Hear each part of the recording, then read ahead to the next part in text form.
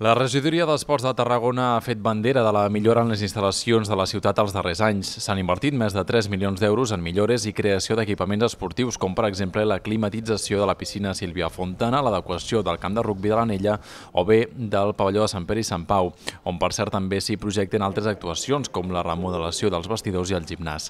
En aquest sentit, el govern destaca l'aposta per l'esport base. Mentrestant, el nombre d'abonats al patronat municipal ha incrementat un 14% des del 2019 i es freguen els 9.000 usuaris inscrits. Una de les fites de l'actual mandat ha estat el traspàs del Palau d'Esports, que ja utilitzen una desena de clubs. Per una banda tenim el Palau d'Esports, que evidentment eh, a nivell dels clubs donen una sortida i una capacitat i que poden créixer en unes condicions eh, com se mereixen i per una altra banda el posar al dia totes les instal·lacions esportives de la ciutat que veníem, de, veníem pues, he posat algun exemple, no?